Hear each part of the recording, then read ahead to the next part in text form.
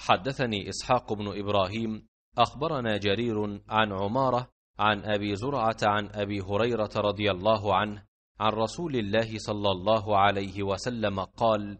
تجدون الناس معاد خيارهم في الجاهلية خيارهم في الإسلام إذا فقهوا وتجدون خير الناس في هذا الشأن أشدهم له كراهية.